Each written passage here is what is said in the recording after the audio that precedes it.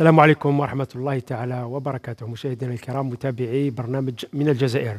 سنناقش اليوم تفاصيل مخرجات اجتماع اللجنة العلمية لرصد ومتابعة تفشي فيروس كورونا تحت رئاسة رئيس رئيس الجمهورية عبد المجيد تبون. فبعد الاطلاع على الوضعية الوبائية وكذا الإحصائيات المسجلة في الآونة الأخيرة, الأخيرة ميدانيا على مستوى المؤسسات المدرسية خلص الاجتماع لإجراءات استباقية لمواجهة تفشي أوميكرون. حيث قرر رئيس الجمهورية عبد المجيد تبون تعليق الدراسة لمدة عشر أيام عبر المدارس عبر مدارس الوطن ابتداء من اليوم وإلى غاية يوم الخميس أي من آه، صبيحة آه، من صبيحة الخميس 20 يناير جونفي إلى غاية 27 جونفي مساء. آه، اولا للخوض في تفاصيل القرار وانعكاساته لتطويق الوباء. آه، أسعد باستضافة آه، ضيوفي الكرام عن يميني الأستاذ مسعود بوديبة ممثل عن نقابة الكناباس الناطق الرسمي مرحبا بك. أهلا وسهلا. شكرا جزيلا على تلبيه الدعوه. عن يساري الدكتور الياس مرابط رئيس النقابة الوطنية لممارسي الصحة العمومية. مرحبا بك. مرحبا شكرا دكتور على تلبية الدعوة وإن شاء الله تثرينا الجانب الصحي في هذا النقاش.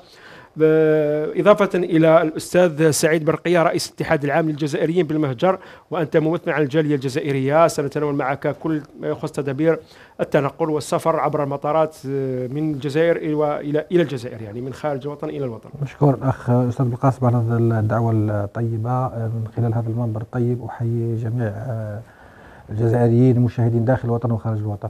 مرحبا بك. فبداية أبدأ معك أستاذ مسعود بوديبة بالنسبة للقرار اتخذه رئيس الجمهورية هو قرار يعني آه، قرار حكومي وقرار آه، رئاسي يعني استباقي آه، لمواجهة تفشي الفيروس خاصة بعد بداية تسجيل بعض الحالات في المدارس. يعني هو قرار سيساعد أكثر ربما في تطويق العملية حتى نتفادى ما هو أخطر. فما هو تعليقكم على توقيت القرار وفائدته على مدارسنا وتلاميذنا؟ طبعا هو آه، الواقع اليوم آه، في الوسط المدرسي وحتى في الوسط المجتمعي آه، هو واقع مقلق في خصوصا مع الانتشار السريع والواسع للوباء ولذلك نحن نرى بأن قرار تعليق الدراسة لمدة عشرة أيام هو قرار صائب وأكثر من ضرورة نعم. آه، أكثر من ضرورة آه، ونحن نرى بأن انتشار الوباء يأخذ منحى تصاعدي وغير متحكم فيه. آه، هذا الأمر هذا الأمر أو هذه الفترة أو هذا التعليق نحن نراه ضرورة لاستغلاله في توفير أجواء صحية آمنة لأبنائنا التلاميذ وللأساتذة ولأفراد الجماعة التربوية. توفير المستلزمات الصحية توفير الوسائل الصحية لتطبيق البروتوكولات الوقاية الصحية. اليوم المؤسسات التربوية تشهد منذ الفصل الأول آه، غياب شبه تام للبروتوكولات الوقائية الصحية. غياب شبه تام حتى يعني توفير أجواء للتأسيس لمبادئ البروتوكولات الصحية غير غير غير متوفرة آه، على غرار مبدأ التباعد. معناها عندما ندمج الأفواج أو عندما نرفع عدد التلاميذ معناها مبدأ التباعد وهو مبدأ أساس في تطبيق البروتوكولات الصحية يصعب تطبيقه على مستوى المؤسسات. اذا توفير المستلزمات والوسائل الصحية يسمح لنا بتطبيق البروتوكولات الوقائية الصحية وفق الشروط الصحية المطلوبة. استغلال هذه الفترة آه، لتعقيم المؤسسات، تطهير المؤسسات، نظافة المؤسسات. استغلال هذه الفترة ل آه، آه، لإعطاء الفرصة للجميع للقيام بالاختبارات التشخيصي التشخيص الفيروسي. لأن اليوم آه، الأعراض موجودة الجميع مشتبه فيه لكن يجب أن نضبط هذه الأمور من خلال التشخيص. ولذلك نحن في يعني في مطالبنا طالبنا باستحداث مراكز للاختبارات التشخيص الفيروسي معناها للتحاليل ولل من أجل هذه المراكز بصفة مجانية للجميع يجب نعم. أن, نف... أن نفسح للجميع القيام بهذه الاختبارات حتى نضبط عملية انتشار الوباء على المستوى المجتمعي وهناك مرافقة للأمر هذا سيتم يعني ونظهر بأن هناك مرافقة للأمر نعم. كذلك نحن نطالب بتفعيل اللجان العلمية و... و... وضبط مهامها وجعلها في خدمة المؤسسات التربوية آه، بالسهر المستمر آه، على متابعة الوباء على متابعة انتشار الوباء وعلى يعني رصد المصابين الكوفيد 19 هو إذا كان قاطع أستاذ بودي معذره هل ترون أنه التدابير في البداية يعني اتخذت في لما كانت مع دلتا ولا قبل يعني دلتا يعني في بداية الجائحة؟ هناك إجراءات اتخذت على مستوى المدارس وهناك يعني إجراءات وقاية ثم لما ربما تساهلنا في الإجراءات عادت ارتفاع يعني الإصابات. شوف نحن عايشنا هذا الأمر وشاركنا حتى في إعداد مخططات من أجل إنجاح سيروره السنة الدراسية. آه، في السنة الماضية كان كنا آه، نعمل على قلنا لا لا يمكن أن نبقي على المدارس مغلوقة لمدة ثمانية أشهر نعم. وساهمنا ب يعني من حيث اختصاصنا ومن حيث المقترحات اللي قدمناها من أجل وضع مخططات استثنائية تتوافق أو تسمح بتطبيق البروتوكولات الوقائية الصحية. بالمقابل كنا نطالب بتوفير الإمكانات المادية والبشرية. قلنا بأن المخططات الاستثنائية لا يمكن أن تنجح إذا ما وفرناش المستلزمات والوسائل الصحية. لا يمكن أن من, من ناحيه تقصد من ناحيه التعقيم و يعني كانت مرافقة التعقيم وكذا في المدارس في البدايات يعني الواقع للاسف البافات يعني الكمامات هي, هي نعايشها في في البدايات ثم بعد ذلك يكون هناك إهمال للأمر. ربما تاريخ على مستوى كل المدارس يعني آه، ربما الأمر الثاني الأمر الثاني توفير المناصب المالية لأن قطاع التربية يعيش شغور كبير على مستوى المناصب. لما نروح للمخططات الاستثنائية معناها مضاعفة الشغور اذا ضروري توفير المناصب المالية من أجل إنجاح المخططات الاستثنائية. هذه الأمور لم تتم بالشكل الذي كنا نحن ما هو مقصود أستاذ مسعد المناصب المالية مثلا. المناصب المالية يعني يفترض إجراءات الوقاية يقوم بها الأستاذ مع التلاميذ. يعني لماذا المناصب الماليه لماذا المناصب المالية آه، إحنا نعرف بأن قبل هذه الجائحة آه، كان هناك سياسة للتقليل من المناصب المالية في قطاع التربية الوطنية بعملية دمج الأقسام. دمج الأقسام هو الذي يولد لنا الاكتضاد لما نجد قسم فيه 60 تلميذ 50 تلميذ 55 تلميذ هذا الأمر منين جاي هذا الأمر؟ أنت ربما طرح قضية أخرى يعني قضية قضية الاكتضاد في المدارس يعني. نعم الاكتضاد اليوم اليوم القسم لما يكون فيه القسم لكن الحل بالتفويج كان حل يفترض لا. هو حل لكن نعم. باش ينجح. باش ينجح العمل لازم تكون الأساتذة متوفرين. متوفرين باش نقدروا نغطيو كل الأفواج. الفوج واش صرا على مستوى قطاع التربية الوطنية؟ بنفس التعداد نريد أن نسير أن نسير مؤسستين في مؤسسة واحدة. هذا غير ممكن. لما لما لما, لما نروح للتفويج معناها القسم اللي فيه 40 يصبح فوجين القسم اللي فيه 60 يصبح ثلاث أفواج. ولذلك هذا يتطلب آه، فتح مناصب مالية جديدة. مع العلم أنه عندنا شغور قبلي. الشغور القبلي موجود. في انتظار لذلك نحن يعني نعم. اذا آه، هذا الأمر لما ما نعطيش أهمية آه هذا سبب خلل على مستوى تطبيق البروتوكولات الوقائية الصحية. وهذا هو الشيء اللي يخلي نوعا ما ظاهريا بأنه هناك إهمال أو هنا الناس ما راهيش تلتزم هي الحقيقة أن الواقع اللي موجود هو اللي يصعب الالتزام على مستوى أستاذ مسعود ربما هذا أمر في قضية توظيف الأساتذة ربما هو أمر يعني إحنا في أمر استعجالي استثنائي. طبعا. فربما لو نجد ربما تنسيق مع الجانب مع مع الجانب وزارة الصحة مع المنظومة الصحية. آه، نحيلوا لك الدكتور الياس مرابط هذا الأمر. اولا نعطينا تشخيص الوضعية الوبائية. يعني وراهي واصلة. ثم نشوفوا بالنسبة واش يذكر الأخ مسعود هل فيه ربما هل يحتاج الأمر تكون تنسيق بين مثلا آه، مديريات الصحة بالولايات عبر الولايات مع مديريات التربية؟ بعد بسم الله الرحمن الرحيم. آه، أنا اولا خليني يعني ننطلق. وين وين توقف زميلي أستاذ بوديبا هو في قطاع التربية وقطاع التربية مرتبط بتطبيق بروتوكولات نعم. بروتوكولات صحية وقائية. وهذه البروتوكولات الصحية الوقائيه موجودة في كل القطاعات. لما لا تطبق هذه البروتوكولات الصحية قطاع الصحة يعني هو اللي يستقبل كل التبعات والتبعات هو أنا شاطرك الراي لأنه الاستاذ مسعود الآن حب يروح للجانب تاع التوظيف. أنا قلت له ربما البروتوكولات الصحية لم تلتزم بشكل جيد في لا لا لا هو هو هو مرتبط هو مرتبط لما نتكلم عن الاكتظاظ الحاصل بسبب نقص مثلا الكادر التربوي البيداغوجي ولا حتى الموظفين الاخرين في مؤسسة تربوية. نعم. يخلي انه أنه ما تقدرش يعني ما تقدرش توفر شروط تطبيق مثلا التباعد الجسدي نعم. هذاك التباعد الجسدي بين, بين الاشخاص كانوا مربيين ولا كانوا تلاميذ ولا طلبة. donc هذا هذا جانب نظن عنده عنده عنده مكان يعني في الكلام اللي قالوا وأنا نشاطر الرأي. ولكن أنا نقول لما لا يطبق البروتوكول الصحي في قطاع التربية مثلا كما لازم الحال. لا يطبق في قطاع النقل لا يطبق في قطاع الإطعام ولا ولا لا يطبق في التجارة ولا يعني في كل في المسجد.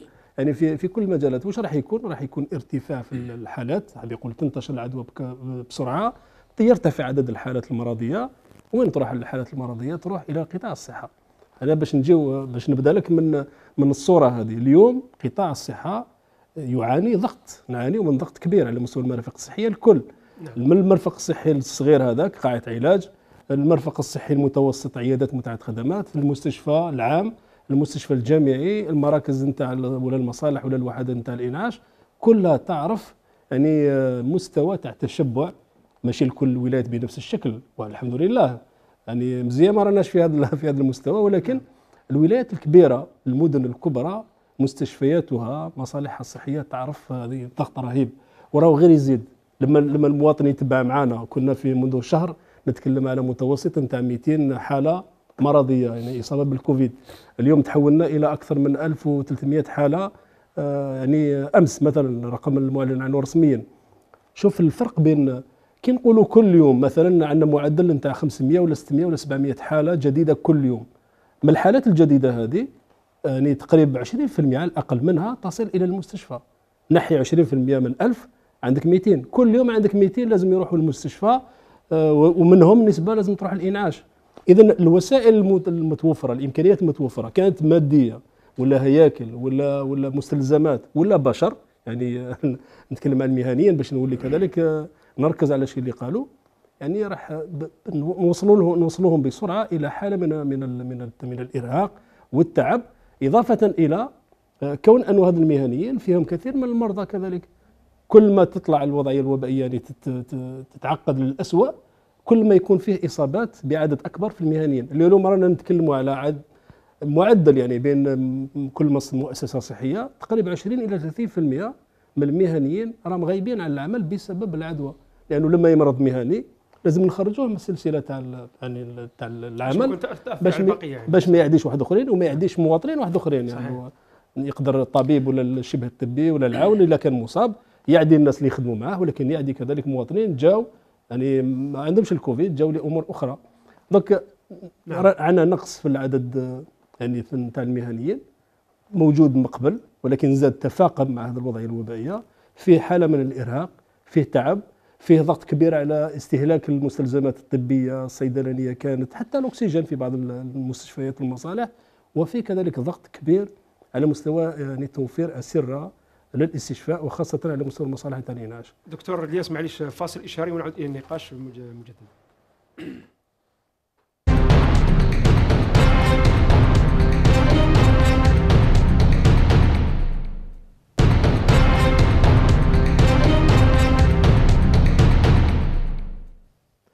عودة إلى النقاش مشاهدينا الكرام. دكتور الياس مرابط سأعود إليك بالتفصيل فيما يخص آه، الوضع الصحي و يعني كل ما يخص بالوضعية الوبائية.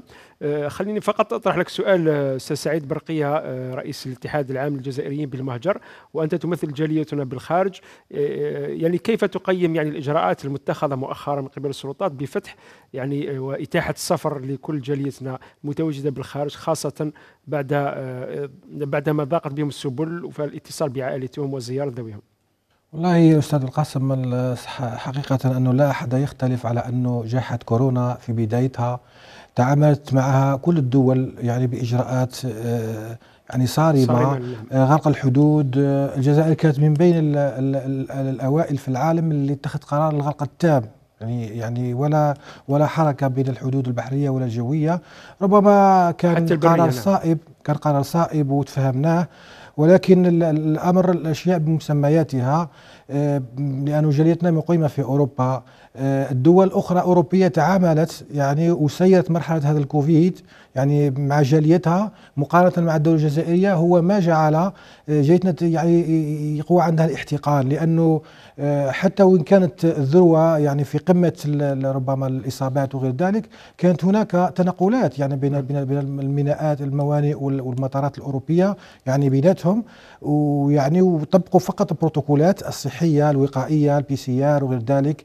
اذا آه، الجاليه شافت الإجراءات وشافت الدول تسيرت يعني بهذه الأمور وبالتالي آه، قارنوها مع الجزائر. الجزائر لا. الجزائر لم تتعامل مع هذه البروتوكولات وتأخرت يعني في التعامل يعني نتكلم حتى بعد بعد سنة ونصف وسنتين وبالتالي والشيء الثاني ربما اللي يحسب لجاليتنا لأنه العدد كبير يعني كل ما كان العدد كبير كل ما كان الضغط كبير. نعم. جاليتنا تتنقل في كل 24 ساعة. إنسان خاصة مع فرنسا. مع فرنسا وإسبانيا أنت متواجد في إسبانيا وإسبانيا كذلك. اذا نعم. آه، تأخر الدولة الجزائرية يعني في في تطبيق البروتوكولات وفتح الحدود كما قلت هو ما ما جعل الجالية تقارن تسيير رحلات يعني في دول أخرى بالرغم من انه الإصابات كانت كانت هائلة. يعني ما ما نقارنوهاش بالدولة الجزائرية. نعطيك رقم. الآن يعني الرقم منخفض جدا. في إسبانيا مثلا على سبيل المثال آه، في 24 ساعة الأخيرة راهو 158 ألف اصابه 158 ألف نعم في 24 ساعة الأخيرة و160 وفيات. مقارنة بالجزائر راهي 1459 أكيد أنه الرقم ماهوش ماهوش مضبوط لعوامل أخرى ربما ممكن نفصلها ولكن نحن في أريحية يعني والشيء الإيجابي الثاني أنه آه أنه أنه الجالية استقبلت هذه الإجراءات وهذه التطبيق ربما حتى ولو كانت متأخرة آه بأريحية وربما كنتم شاهدتوا دخول الجاليه أو الباخرة على فالونس يعني نتكلم في أكتوبر الماضي كانت كانت عرس يعني كل صحيح. يعني يعني فرح بالرغم من أنه كانت قنطة من قبل ولكن فرح ولكن الحمد لله الآن الأجواء ما زال مفتوحة ولا أظن أنها سوف تغلق.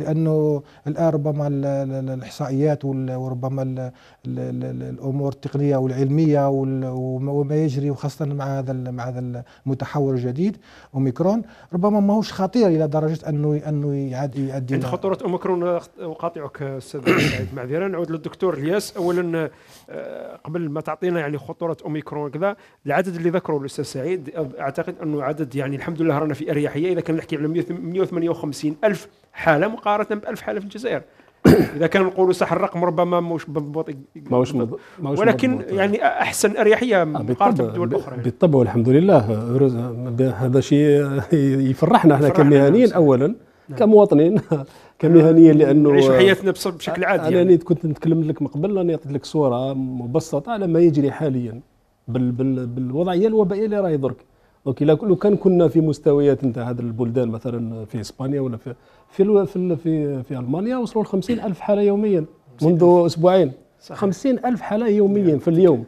donc حيكون ضغط كبير على القطاع الصحي الحمد لله ما رناش في هذا المستوى رغم أنه أنا قلت يعني الأرقام اللي تعلن رسميا على لسان ممثل وزارة الصحة هي أرقام ترتكز على تحاليل PCR رسمية.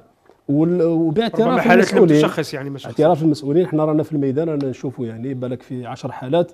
كاين من المواطنين كاين واحد اللي يدير تشخيص الآخرين نعطيو لهم علاج مباشر لأنه يعني باين يعني واحد يعني مريض في العائلة. الحاله تاعو ربما مش كبيرة يعني ما تستاهلش أنه وزيد فيه في المستشفى. وفيه جانب مادي كذلك يعني. صحيح. كثير من المواطنين يعني ما ما ماهوش في مقدورهم أنه يديروا PCR فردين ثلاثة اربعه في العائلة. بالنسبة لل PCR justement يعني في هذا الإطار يعني تم تخفيض أعتقد تخفيض السلطات أعلنت أنها سترافق هذه العملية.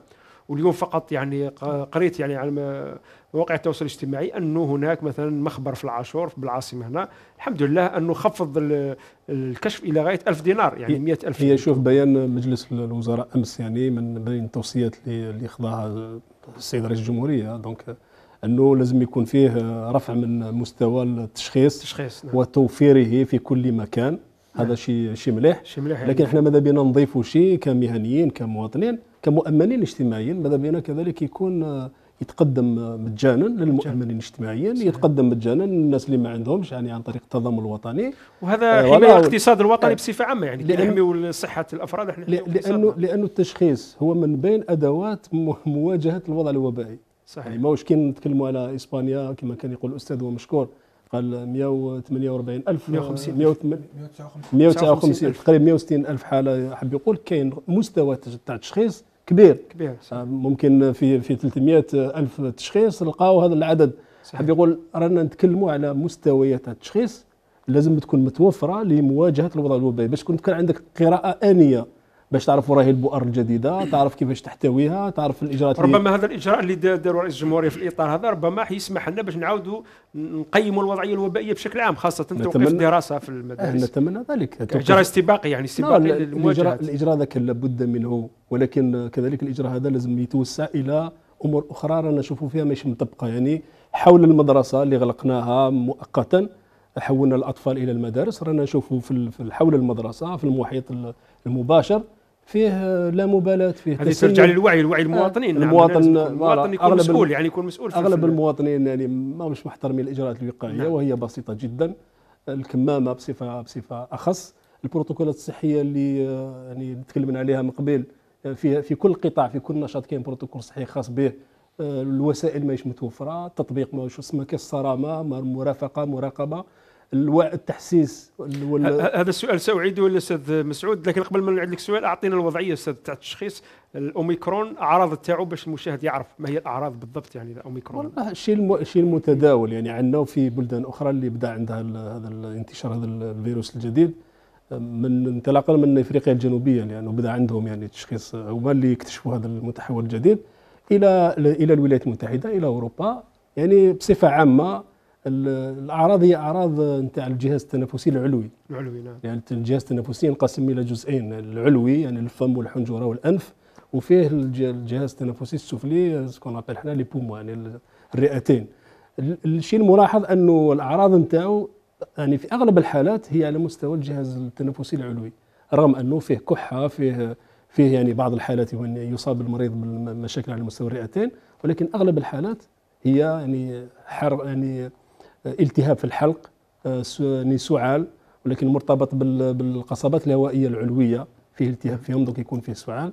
فيه حمى ما من الحمى يعني آه، شفنا أنه يومين ثلاث أيام على الأكثر يعني المرضى الكل يقول لك يعني يومين ثلاث أيام كنت متعب. بالحمى. نعم. وفيه كذلك آلام في المفاصل آه، في التعب آه، صداع في الرأس الموجود. صداع في الرأس نعم. يعطيك الصحة. كاين بعض الحالات خاصة عند الشباب والأطفال شفنا باللي عندهم قي وعندهم إسهال. حالات يعني يعني نادرة هذه. حالات يعني عند الأطفال والشباب خاصة. الشيء الملاحظ كذلك وهو سرعة الانتشار.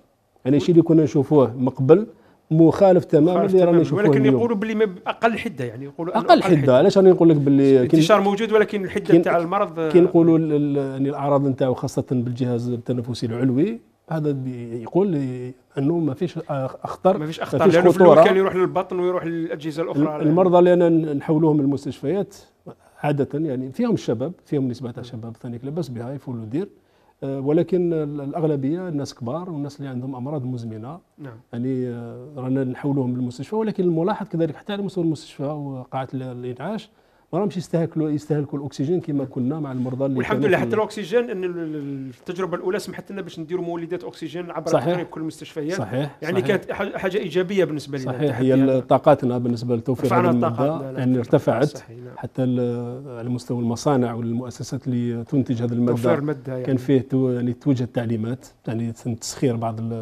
المؤسسات باش ترفع من مستوى الإنتاج تاع المادة فعلا حتى. الجمعيات الجمعيات المجتمع فيه مجتمع المدني مدني تحرك يعني كاين ناس ربي يجازيهم يعني قدموا قدموا يعني مولدات وقدموا مولدات حتى صغيرة ومولدات كبيرة وحتى م- وفيه اقتصاديين فيه يعني شركات شركات أعمال. خاصة عمومية كذلك يعني باشرت بهذا بهذا ال- بهذه الإعانات وهذا اللي قلت يعني أرفع من مستوى آه، يعني توفيرنا لهذه المادة وهي ضرورية حيوية للمرضى آخرين كذلك ماشي غير المرضى تاع الكوفيد. ربما هذا الوعي اللي في الجانب الصحي نرجعوا للأستاذ مسعود يعطينا الوعي على الجانب المدارس. آه، كما قال الدكتور آه، الياس مرابط الآن إذا كان آه، خلينا الأولاد يعني تلاميذنا سرحناهم كما نقولوا راحوا للبيوت والمنازل لكن للأسف شديد في الشارع هذاك الطفل اللي خرجناه من المدرسة راه موجود في الشارع. الآن ألا ترون أنه من مسؤولية قبل تسريح التلاميذ؟ توعية الأولياء على الأقل باش يحافظوا على أولادهم يعني. شوف نحن أتذكر في لما أعلن عن تقديم عطلة الربيع بتاريخ 12 مارس 2020 نعم. نحن كنا ضد ضد التقديم آنذاك وقلنا بأن الأولوية هي للتوعية والتحسيس. لماذا لا نستغل الأسبوع الأخير أو الأسبوعين الأخيرين من من الفصل الثاني؟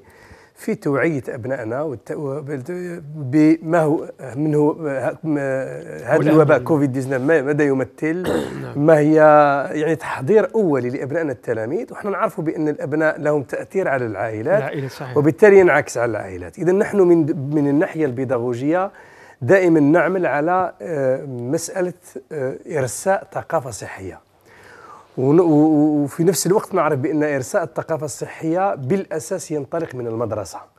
معناها آه، حرصنا نحن على تطبيق البروتوكولات الوقائية الصحية والإنفاق في هذا المجال على مستوى المؤسسات التربوية يدخل في هذا المجال البيداغوجي. نعم. قلنا بأنه يجب أن نعمل وننفق من أجل إرساء ثقافة صحية. التلميذ له تأثير على العائلة معناها ينعكس على العائلة إيه، وبالتالي ينعكس على المجتمع.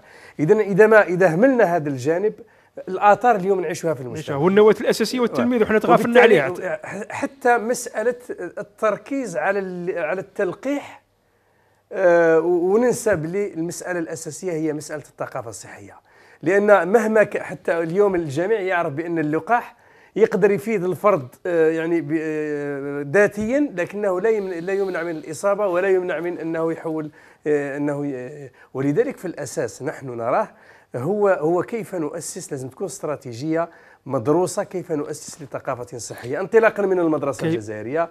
المدرسة معناها لازم لازم ننفق على على توفير البروتوكولات الوقائية الصحية حتى ممكن نقدروا نستغل الفرصة. أحسن يعني لحماية المجتمع. كما ينبغي. هي فرصتنا صحيح. في المجتمع الجزائري من أجل بسط قواعد انتهى الوقت ولحماية المجتمع وتأسيس الثقافة الصحية. آه، انتهى الجزء الأول من النقاش. سنعود إليكم مشاهدينا الكرام بعد هذا الفاصل.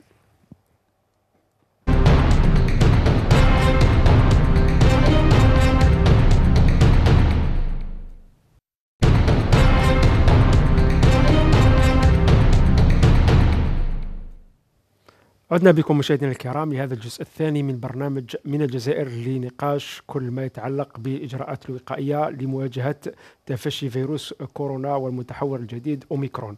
آه آه نعود بكم مع ضيوفنا الكرام آه نعود معك أستاذ سعيد بن نرقيه رئيس اتحاد العام الجزائريين بالمهجر بالنسبة لإجراءات التلقيح التي تتم بالنسبة للمسافرين هل ترون أن الإجراءات الآن ميسرة لكل جاليتنا للتنقل من وإلى الجزائر؟ والله فرق كبير يعني برنامج مثلا دائما نحصر الأمثلة نتكلم على الحاله تاع إسبانيا الآن راهي في في في في نسبة متقدمة جدا نتكلم على فاتت 94% يعني من من الملقحين يعني بطريقة سلسة عن طريق استقبال رسالة نصية في الهاتف نعم. تاعك يعطوك الموعد صحيح. يعني وتروح وتدير الإجراءات يعني تاع الفاكسان كاين فاكسان تاع تاع واحدة فقط وكاين تاع تاع تاع جرعتين. ولكن أنا يقول لك فيه بعض جاليتنا آه، نتكلم على متخوفين أكيد أنا ربما هذه أرقام أنا وقفت عليها. متخوفين يعني نفس التفكير في الجزائر داخل الوطن أو التفكير خارج نعم. الوطن. يعني يجنبوا هذا الفاكسان ولكن نقول باللي آه، التلقيح راهو وصل إلى مرحلة جد جد متقدمة. مع ذلك راهو الحالات الحالات راهي موجودة. نتكلم على العدد المرتفع اللي تكلمت عليه منذ قليل. في وقت اللي في الجزائر اللي أربعة مش عارف النسبة المئوية اكزاكت هنا في الأخر وقيل 4% ولا مش عارف اللي اللي راهم ملقحين. و1000 يعني 1000 نعاود أنه موش رقم رقم ربما نضربه في ثلاثة نضربه في أربعة لأنه ما كانش ربما طريقة تعامل غير ذلك. ربما ولكن قضية العقلية يعني تقبل التلقيح ربما هذا نعم نعم لأنه هناك هناك شرخ يعني هناك مشكل يعني خاصة في التواصل الاجتماعي. تخرج فيديوهات من من هنا من هناك. آه أنا دائما كنت أتعامل معها انه أنه الشيء اللي راهو يسرى ويعني وتشويه تشويه الجرعات يعني ويعني وتعامل على على أنها تضر وما تنفعش. أنا نقول دائما ماهوش ماهوش منطقي لأنه العلم متطور. العالم كامل قام بالتلقيح لأنه هذو كلهم متهورون. هنا إذا كان اسمح لي أستاذ سعيد أحيل الكلمة إلى الدكتور الياس مرابط بصفتك كطبيب خلينا نقول قضية التلقيح الآن الناس ما زالت يعني في العالم مش في الجزائر فقط لأنه نعطي مثال مثلا منذ أيام فقط توفي لويجي ماريلي القيادي البارز في حركة لنحرر, لنحرر إيطاليا إيطاليا. المناهضة للتطعيم. ضد كورونا متأثرا بالفيروس يعني توفى للأسف الشديد يعني مع إنه كان يقوم بحركة لمناهضة أو يعني يرفض التطعيم لكن توفي متأثرا بالفيروس. الآن القضية لم تصبح جزائرية فقط وإنما هي قناعة إنسانية كإنسانية بصفة عامة لقبول التلقيح من عدمه. خاصة بين قوسين افتح قوسين حكاية مثلا مخابر تستغل الوضع للأرباح والثراء وغيرها. هذه شوف كاين كاين معادلة الإنسان في, في كل معادلة كاين كاين يعني يعني أمور كيفاش نقولوا ديزيكواسيون فيهم يعني معادلات نعم. آه فيهم أرقام يعني متغيرات. منطقيه متغيرات. هذا واش حبيت في المعادلة فيها متغيرات. المعادلة اللي رانا فيها اليوم إنه عندك وباء سبب تاعو فيروس. فيروس. آه ينتشر. سواء مفتعل أو غير مفتعل فهو فيروس لازم نامن آه بالواقع يعني. مفتعل كما قلت مؤثر فيه من الخارج مخابر عالمية ولا غيرها المهم موجود. آه. المهم عندنا إحنا كمهنيين حقيقة موجودة كقطاع الصحه عندها عدد من المرضى في المجتمع لازم نتكفلوا بهم كل. واحد بالمستوى تاع التعقيدات تاع المرض تاعو. ومن بعد نتكفلوا بهم حسب الوسائل المتاحة. حسب الوسائل المتاحة في مثل هذه الأمراض من بين الوسائل المتاحة هو التلقيح. التلقيح نعم. كل الأمراض الفيروسية العلاج نتاعها الأساسي يعني نعم. في في احتواء الوضع الوبائي لأنه تنتشر بوضعية وبائية. هذا هو المشكل تاعها. نعم. العلاج نتاعها هو ال هو ال هو ال vaccin la vaccination. لما نتكلموا على ال vaccin تاع ضد الفيروس نتاع كورونا فيروسات الكورونا معروفة منذ أكثر من 60 سنة. نعم. ماشي جديد ما اكتشفناش الإنسانية ما اكتشفتوش اليوم. منذ 60 سنة وهذه الفيروسات التاجيه معروفة. نعم. ومعروف عليها أنها تتحور. تتحور. يعني كل في كل تقريبا كل عشر سنوات منها تظهر منها تظهر فيها طفرات. تخليها تنتشر بالصفة لتخلق وضعيات وبائية. ولكن باش نطمن المواطن هل حقيقة الآن فيه تراجع للمتحور هذا؟ لا قوته يعني. نقول نجاوبك على السؤال هذا ولكن حبيت نركز على حاجة. مهمة. اللي vaccin كيما ال vaccin تاع الفيروس تاع كورونا كيما ال vaccin تاع la grippe نعم. ال vaccin تاع la grippe الهدف منه ماهوش أنك يمنعك باش تصاب باللاغريب تقدر دير الفاكسان تاع لاغريب كل سنة وتصاب. ولكن تصاب. الفائده نتاع ال vaccin هذاك انه يخلي في الجسم نتاعك يعني ينشئ ولا يولد يعني مضادات حيوية كوريات يعني كان يعني في المناعة نتاعك كاين أجسام مضادة تحميك ضد الفيروسات هذه الا دخلت الجسم تتأقلم الجسم يتأقلم الإنسان كيكون ملقح ملقح يرفع من مستوى المناعة نتاعو. دونك لما يصاب بالمرض أعراض تكون أخف. والشيء اللي اليوم راه مؤكد في كل الدول بدون استثناء في أوروبا في الولايات المتحدة في أمريكا وفي الصين لأنه اليوم رانا نتكلموا فرنسا إسبانيا وإيطاليا ولا أحد راه يتكلم على الصين لا أحد راه يتكلم على اليابان. ولا أحد يتكلم على كوريا ولا أحد يتكلم على نعم. ماليزيا. وهي بلدان الجوار بلدان الطوق مع الصين. بدأت الوباء بدأ في هذيك البلدان. نعم. اليوم حتى واحد ما يتكلم. علاش؟ يتكلموا عليه لأنها نعم. بلدان كانت عندها استباقية. الكف... الإجراءات اللي خذتها كانت ناجعة. بما فيها الإجراء الأساسي وهو التطعيم والتلقيح. اذا التلقيح عند أعطى نتائج في الصين وفي هذه البلدان. أعطى نتائج في أوروبا. اليوم رانا نتكلموا على الناس اللي ما زالت تفكر عندها عقلية ضد التلقيح. وهذا حقها. نعم. ولكن في كل هذه البلدان المعدل في أوروبا اليوم فوق 74% يعني المواطنين تم تطعيمهم في, في الاتحاد الأوروبي. أكثر من 74% من المواطنين تاع الاتحاد الأوروبي تم تطعيمهم. كاين بلدان كما إسبانيا تجاوزت 90% ولهذا البرتغال كذلك. الإصابات ما زالت ولكن الوفيات نقصت. نذكروا بدا بدا الوباء في 2020 كنا نشوفوا واش كان صار في إسبانيا وفي إيطاليا. هذه البلدين كانوا يحصيوا بالآلاف الموتى يوميا. آلاف صحيح. الموتى يوميا. نعم. اليوم بعد هذا المرحلة اللي وصلوا لها من التطعيم بالإجراءات الأخرى طبعا في الخلاصة لازم التلقيح يعني بنهاية لا لا بشكل يعني نهائي يعني لازم أنا أنا شخصيا نتكلم على نفسي وعلى المحيط نتاعي نعم. العائلة نتاعي. الكل دار التطعيم نتاعو. بما فيها الجرعات نتاع الدعم نعم. والحمد لله الحمد لله. يعني من من التجربة اللي درناها في بلادنا يعني آلاف الناس يعني تلقحوا. ما كاين مضاعفات يعني خارج المعتاد. ما كاين وضعيات يعني تستدعي أنه إحنا نست... يعني إحنا ما نقبلوش كأطباء ولا المواطنين. راهم يسمعوا فينا لازم يفهموا باللي إحنا جزائريين كما هما نعم مواطنين. خاوتهم وخواتاتهم نعم الطبيبات. ما نقبلوش أن المواطنين الجزائريين نديروا لهم فاكسان باش نضروهم باش نضروهم نعم. في إشكال على مستوى قطاع الصحة. وأنا من هذا الباب يعني نزيد نجدد ندائي الكل مهني تاع قطاع الصحة اللي ما داروش ال vaccin تاعهم لازم يديروا ال vaccin في هذا الإطار كاين أطباء بزاف اللي ما داروش يعني باش يعطيو المثل هذه من جهة ولكن باش يحميوا نفوسهم لأنه رانا رانا في أكثر من 20 ألف حالة إصابة في الوسط المهني. وقدمتوا كثير من الشهداء الوباء لحد يعني. الان 400 هذول مؤكد وفاتهم بتعقيدات المرض 446 حالة وفاه هذه خسارة كبيرة نظن باللي باللي الفاتورة هذه الفاتورة هذه يعني وحدها تكفي باش نعرفوا بلي رانا في إحنا كمهنيين تحقيق الصحة معرضين أكثر من واحد آخرين للمرض وتعقيدات المرض. لازم نكونوا محميين. صحيح. ولازم كذلك نوعيو حولنا المواطنين باش يروحوا للتطعيم. نعم. بالنسبة بالنسبة قلت لي مقبره المخابر. المخابر موجودة اللي تبيع الدواء واللي تبيع المراهم واللي تبيع تصنع باش تبيع. donc bien sûr المخابر لازم لها لازم لها جزء من السوق يعني حصتها من السوق, السوق كل واحد يروج للقاح نتاعو وماذا به يدير ترويج ترويج سلبي للقاح نتاع الآخر باش يبيع هو اللقاح ولكن إحنا كل اللقاحات اللي اندارت فادت ولا ولكن اللقاحات الكل يعني بصفة عامة اللي راهي متوفرة في الجزائر واللي متوفرة في بلدان أخرى أثبتت نجاعتها. هذا الشيء يعني ممتاز دكتور باش نمشي مع الوقت فقط ذكرت انت من قبل اليابان المركز الوطني الياباني للبحوث الصحة الدولية يقول باللي أن المدخنين أكثر عرضة للإصابة وخاصة النساء. المدخنات يعني. إحنا الحمد لله نظن بالنسبة للتدخين نظن كلمة نتكلموا على التدخين نتكلموا على سرطان الرئة اولا نتكلموا يعني. على سرطان المثانة نتكلموا على فهمت كيفاش؟ أنا التدخين بصفة عامة أنا أنا من بين كطبيب يعني كان رغم أنه أنا كنت صغير ومع الأسف مشيت في هذا الطريق نتاع الآخر واستعملت تدخين. نعم. ولكن يعني كثير من الضرر كثير من الضرر. الشيء اللي نقوله يعني كنا طلبة هذاك الوقت كنا شوية كنا يعني كنا شباب. نعم. يعني استعملنا هذا مشينا في الطريق هذا تاع التدخين ولكن نقول ما في حتى فائده إلا الضرر بإضافة إلى يعني الإنفاق هذاك اللي ما عنده حتى معنى. يقدر الإنسان يديره في في في أمور أخرى تفيد العائلة نتاعو تفيده هو في أمور كثيرة. نعم. ولكن أنا شيء اللي ما نفهموش التدخين منذ سنوات منذ عشرات سنين منذ بالك 100 سنة كل التقارير الطبية تقول باللي التدخين مضر للصحة. حتى حتى العلبة العلبة تقول لك ما تقول لك التدخين يقتل.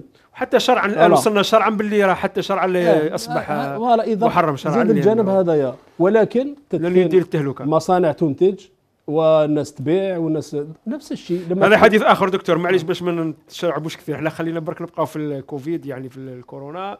آه، نعود لك أستاذ سعيد برقية. بالنسبة لأمريكا كان الصحه نصحت المركز الأمريكية لمكافحة الأمراض والوقايه منها بعدم السفر إلى 22 دولة. منها دوله كاين الصهيوني أستراليا مصر ألبانيا الأرجنتين الأوروغواي بسبب ارتفاعات الاصابات ارتفاع الإصابات بكوفيد 19 والله أكيد هذا قرار ربما يحترم لأنه يدخل في في إطار القرارات التي تراها الولايات المتحدة الأمريكية في حماية ربما يعني الأمن القومي الأمن الصحي آه، أمريكا آه، أمريكا ربما أفتح قوسين عانت يعني نتكلم على كانت هناك معارضة شرسة وهذه المعارضة وصلت حتى آه، يعني تلعب بالاستقرار الأمني تاع تاع أمريكا. كانت معارضة شرسة وبالتالي بالإضافة إلى إلى تأثير هذا التعامل مع الاقتصاد الأمريكي يعني خلى أمريكا تتراجع وتتنازل. ولكن في نفس الوقت تتخذ بعض الإجراءات لأنه هذه الدول ربما ما كانش ما كانش جالية كبيرة تاع أمريكا اللي نعم. تخليها تتعارض معها ولا تخليها تفرض عليها قيود ولا تفرض عليها ربما ضغط. وبالتالي بريطانيا مثلا الجالية البريطانيه أمريكا في بريطانيا وإسبانيا راهي مرتفعة. هذا الدول الأخر ما مسش إسبانيا وما مسش بريطانيا بالرغم من انه لأنه هناك خوف من ردة فعل وبالتالي أمريكا تتخذ قراراتها بما يناسبها وكذلك كل الدول تتخذ قراراتها بما يناسبها وهي مرحلة إن شاء الله نتمنى أن تفوت. تفوت بأقل الاضرار ولكن الاضرار موجودة بالصوت والصورة ونسأل الله الصحة والعافية. إن شاء الله بإذن الله. بالنسبة لبريطانيا بريطانيا ابتداء من 27 يناير جونفي يعني سترفع أغلب القيود الصحية المفروضة وفقا ما أعلن عليه رئيس الوزراء آه، بوريس جونسون هذا الأربعاء يعني آه، أمس فقط. ومن الإجراءات المرتقبة يعني لن يكون وضع الكمامة الزاميه إلزامية موجب القانون يعني ما تكونش إلزامية وضع الكمامة. كما أنه لا يسير رسميا بالعمل عن بعد ولا يشترط تقديم شهادة صحية لدخول المراقص وبعض التجمعات الكبرى، المهم هذا في بريطانيا. نعم, نعم. ألا ترون أنه عكس التوجهات الان نعم نعم أنا قلت لك كل حتى بريطانيا كذلك يعني تعرضت إلى إلى إلى معارضة شرسة يعني كانت هناك مظاهرات فعلا كذلك مست بالأمن القومي يعني الداخلي لبريطانيا. آه، أكيد القرارات تتخذها بما يناسبها. ربما تراجعت الحالات عندها نعم لا هو هو آه، بالإضافة إلى تراجع الحالات ثانيا ثانيا سيطر على الوضع يعني. سيطر على الوضع ولكن الكل يعلم بانه هذا الفيروس راه في في مرحلته النهائية. إن شاء الله الجزائر تسيطر على الوضع. معذره فقط سعيد فاصل إشاري ونعود إلى النقاش. إن شاء الله.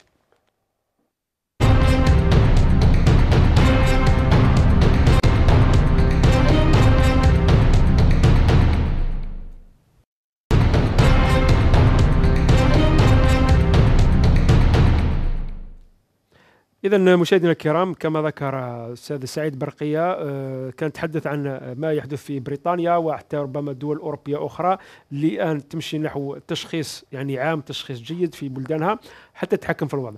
نرجع لك أستاذ مسعود بوديبة ألا ترون انه ربما هذه المدة اللي اتخذها رئيس الجمهورية بإجماع يعني في في اللقاء اللي تم مع مسؤولين أعلى مسؤولين في الدولة أنه يتم آه، يعني مواجهة الفيروس وكاجراء استباقي للتحكم في الوضع يسمح لنا هذا الوضع باش اولا آه، نحدوا من ظاهرة انتشارها في المدارس. حاجة ثانية أنه ربما دوركم ك كتربويين يعني الناس في كامل في قطاع التربية يعني تدعيون المهنيين باش يكونوا يعني في صورة أمثل باش يساعدوا في مواجهة هذا الوباء الحالي يعني. طبعا نحن آه، منذ اللحظات الأولى العمل في هذا المجال كان بهدف قلت إرساء ثقافة صحية. نعم. والتزام الجميع بقواعد وشروط صحية. لكن بالمقابل كنا نطالب بتوفير الإمكانات المادية والبشرية لذلك. نعم. آه ميدانيا ميدانيا آه كان هناك صعوبات كبيرة على مستوى المؤسسات. المؤسسات بميزانيات شبه معدمة. ما يقدرش يشتري أبسط الأشياء الأقلام نعم. باش يدرسوا الأساتذة ما يقدرش أحيانا لازم يجيبهم وينتظر ميزانية أخرى نعم. وبالتالي فتوفير المستلزمات تتطلب ميزانيات إضافية وهذه المستلزمات ليست فقط في الدخول آه، لما يكون الإعلام ويكون دخول مدرسي نعم. وندير صور وندير وبعد ذلك بعد أسبوع نجد الأمور تعاود ترجع إلى آه، وضعها الطبيعي نعم. الأمر الثاني نحن قلنا بأن المخططات الاستثنائية الأساس فيها هو التباعد. التباعد يتطلب أن القسم ما يتجاوزش 20 تلميذ في القسم. الأقسام تاعنا كلكم تعرفوا الأقسام على أقصى تقدير تكون 20 21 22 طاولة حسب حجم القسم. اليوم لما نلقاو قسم فيه 35 فيه 40 معناها مسألة التباعد آه، انتهت. الحركة على مستوى الرواق على مستوى الساحة لما نرفع آه، المخططات الاستثناء التناوب علاش درناه؟ درناه لما يكون عندنا عدد من التلاميذ في الثانوي نقسموه على على اثنين صحيح. معناها نصف يقرأ الصباح ونصف يقرأ العشية باش باش نوفروا أجواء تجسيد التباعد على مستوى المؤسسات لما نرفع التلاميذ يصبحوا مؤسستين في مؤسسة واحدة وعلى هذا الأساس نحن دائما كنا نحذر من أننا نوصل إلى وضعيات ممتاز الان الآن بالنسبة نحن في نهاية السنة في 2021 نعم. ما كناش نطالبوا بضرورة توقيف آه، آه، يعني آه، إحداث فاصل أو تعليق الدراسة. تعليق الدراسة نعم. كان المطلب تاعنا هو يجب أن نستغل العطلة الشتوية لثلاث أسابيع للعطلة يعني للتوعية و... للتوعية والتحسيس من جهة ولتوفير الإمكانات المادية والبشرية من جهة ثانية باش الفصل الثاني نقدروا نتحكموا في الوضع. ربما لكن للأسف الشديد هذا الأمر ما ولكن هذه هذه هذه الوقفة اللي اندارت اللي الآن اليوم هذا القرار هذا القرار, سيعيد القرار أكثر من ضرر نحن نحن آه هذا القرار كنا ننتظروا فيه. صحيح. لأن الأمور تفاقمت صحيح. ومن الصعب التحكم في الأمر حتى التعليم 01 2021 اللي فيها إجراءات ثلاثة في القسم نغلقوا القسم ثلاثة في المؤسسة نغلقوا أصبحت لا تجدي نفعا لأن لأن آه، هذه الأمور لما تكون الإصابات بطيئة واليوم تظهر واحد غدوة اثنين لكن لما نوجدوا في نفس اليوم يقول لنا 100 تلميذ مصاب 10 آه، أساتذة مصابين ربع إداريين مصابين مساعدين التربويين مصابين مدير مصابين. اذا الأمور الأرقام بدأت تتزايد بسرعة. اذا الأمر يحتاج إلى قرار. نحن نرى بأن القرار القرار جاء في وقته القرار يعني. جاء في وقته. يعني لكن هذا القرار لازم نستغلوه. نستغلوا الاستغلال تاعو صحيح. يعني نرجع معك ربما الآن فيما يخص استغلينا في المنظومه الصحيه إذا يعني سمحتني نتكلم. الآن في فيما يخص اللقاح. نحن دائما نطالب بتكثيف الحملات التحسيسية والتوعوية. اليوم لما يتكلم الدكتور مرابط أنا كنت نسمع فيه ولما نتكلم أنا مش كيف كيف. هو لما يتكلم ب يعني بوضعيات حقيقية ميدانية والمستمع راح ياخذ لأن أو يتكلم معه دكتور في المجال. نعم. لما وبالتالي إحنا قلنا لازم تكثيف العملية يعني التحسيسية التوعوية ولما لا ما تكونش هناك ندوات جوارية من أجل هذا التوعية والتحسيس. وتجيب ثمارها تجيب ثمارها. ولازم أنا قلت حتى اللجان العلمية على مستوى الولايات ما كانش تواصل. نعم. ما كانش هناك اتصال. لما ما يكونش تواصل الناس راهي وبالتالي يصبح المواقع المختلفة على مستوى الصفحات هي المصدر ويصبح هو مصدر المعلومة. إذا نظن هذا من جهة. من جهة ثانية أنا نقول ونظن هذه نقدر نستشير مع امامي الدكتور ميرابات. الآن في عز الوباء عدد الإصابات راهي كبيرة. لما نروح لما نروح ندير حملات مش كبير بشكل كبير يعني لما نروح ندير حملات تلقيح أنا نظن باللي الأولوية الآن هي للاختبار التشخيصي الفيروسي. لازم نعم. الناس لازم لازم وهذا واش يتم لازم نوسع هذا الدائره لما الناس يعرفوا يعني. هل هو مصاب غير مصاب وبالتالي لما نروحوا لعملية الحملات التلقيحية نروحوا في مأمن. يعني اذا التشخيص هو أنا نحن نراه هو الآن أولوية. أولوية أولوية ولازم ولازم نفتحوا مراكز على مستوى وحدات الكشف الصحي على مستوى المراكز الصحية. نفتحوا باش الناس على الأقل بتكون باثمان الناس آه تتكلم عن التشخيص نتكلم عن التشخيص نتكلم على وحدات لا لا. اللقاء أنا متفق معك. لكن التشخيص لازم كذلك نزيدوا نشجعوا الناس باش يروحوا يديروا التشخيص. ونظن في شوف في مرحلة التشخيص تجي مع يجي معها التحسيس والتوعية للقاح سي في النقطة هذه لو سمحت آه. سي مسعود نجاوبك. شوف كل هذه البلدان اللي كنا نتكلموا عليها والنسب اللي حققتها بالنسبة للتغطية عن طريق التطعيم. دارت الحملات تاعها وهي تعرف موجات كما رانا عايشين هكذا صحيح. كل هذه البلدان. كلها. ما كان حتى بلاد يعني مش مستثنات يعني موجة فيها فيها يعني. ما كان حتى بلاد انتظرت أنه الوضع يستقر ومن بعد كي يكونوا في مرحلة الاستقرار أي يروحوا نديروا الحملة. لما يسوء الوضع نتوقف على الحملة هو تمشي مع بعض بالتوازي ما نقدروش الشيء اللي ممكن الشيء اللي ممكن ممكن نوافقك فيه أنه يعني في في بلدان هذه كان فيه تشخيص يعني النسبة المستوى تاع التشخيص عالي جدا. يعني وسائل التشخيص متوفرة في يعني مجانا في كثير من الدول بأثمان مقبولة في في غير في غيرها وكذلك بتعويض عن طريق التأمين. هذا الشيء اللي أنا نطالبوا به إحنا كمهنيين. يعني اني نقول لك التشخيص هذايا ماهوش متوفر مجانا حتى المهني تاع قطاع الصحة. وحنا نعمل يعني في في في الجبهة الأولى وبن فينا من المصابين التحدي الأول هو التشخيص كيفاش نوفروا التشخيص لأكبر عدد ممكن من المواطنين يقول الإجراءات هذه يجب أن نوفرها ونعمل عليها مع بعض. ما نقدروش دوك نبقاو في الجانب الوقائي والعمل بالإجراءات الوقائية على المستوى الشخصي البروتوكولات الصحية اللي خاصة بالقطاعات والنشاطات لازم تمشي كذلك. لازم التوعية والتحسيس ما نتوقفوش إحنا توقفنا. أنا أعطينا انطباع للمواطن وكأنه إحنا الوضعية عندنا متحكم فيها خرجنا من النفق.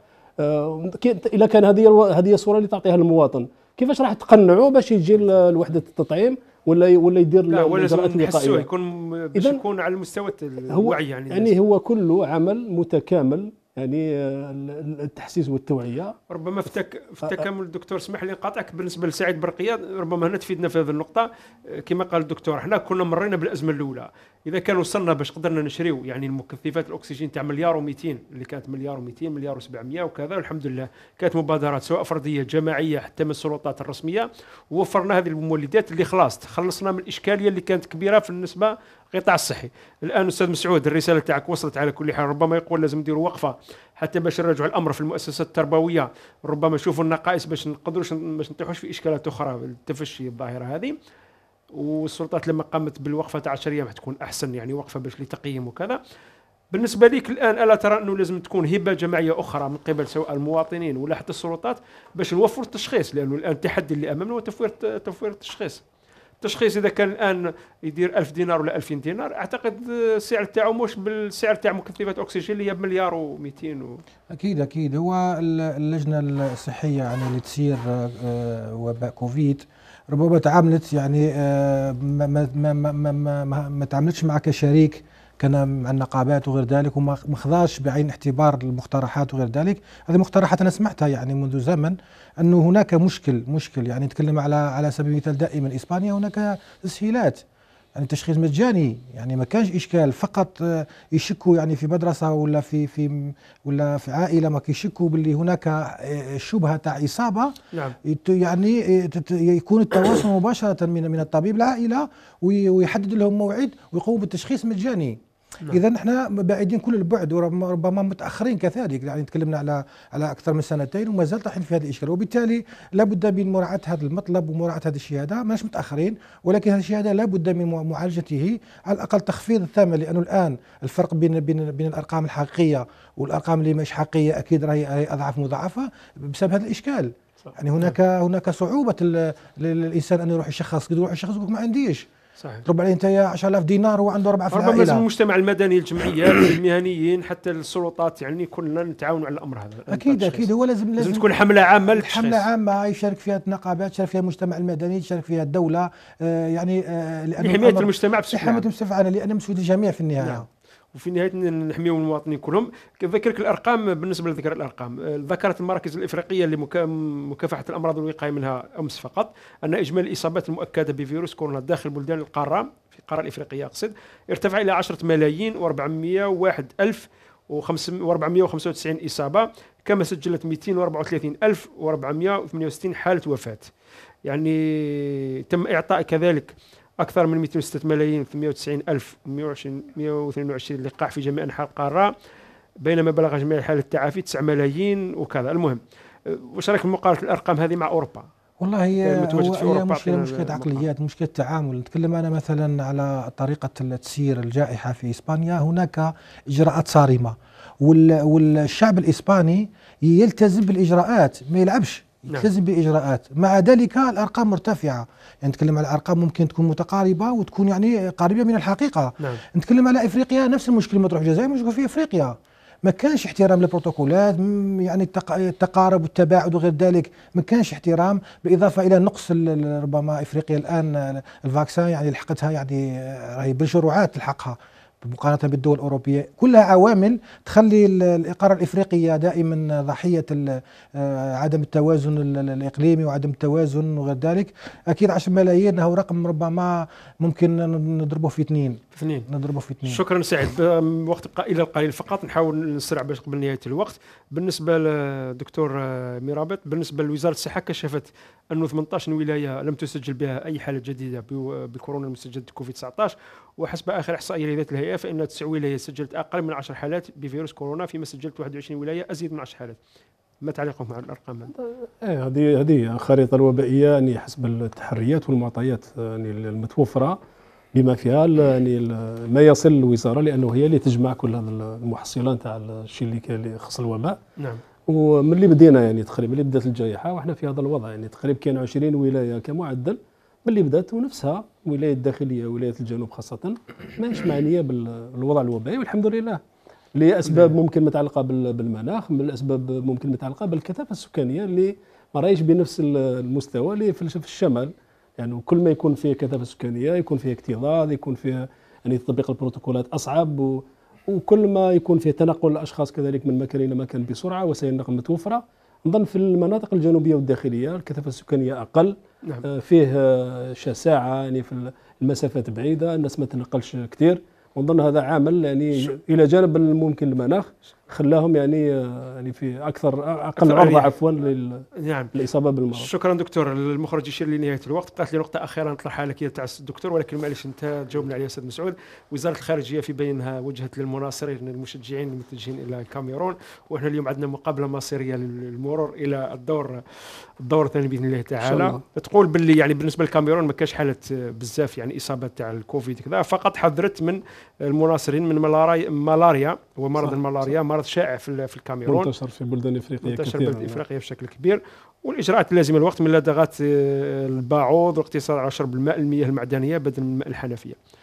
أعطينا كلمة أخيرة منك وخلاص. والاحتياط من الأمراض بأنواعها والأوبئة بأنواعها هذا أكثر من ضرورة. وأنا نعم. قلت بلي هذه الثقافة التي يجب أن نمتلكها نحن كجزائريين لأن وهذه فرصتنا اليوم في هذا الوضع الصحي.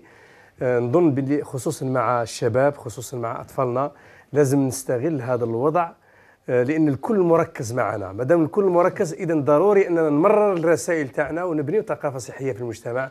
وإن شاء الله تكون شكرا جزيلا لك مسعود بوديبا الناطق الرسمي باسم نقابه كنابيست شكرا جزيلا لك الاستاذ سعيد بن رقية رئيس اتحاد العام الجزائري بالمهجر. دكتور الياس مرابط آه، رئيس نقابة ممارسي الصحة العمومية. شكرا جزيلا لك. وإن شاء الله كما قلت تكون وعية أكثر. إحنا خلصنا خلاصة القول أنه لازم يكون فيه تشخيص لازم يكون تشخيص كما قلت الفترة دي تاع 10 أيام ما تكونش فترة للراحة وال, وال يعني والغفلة.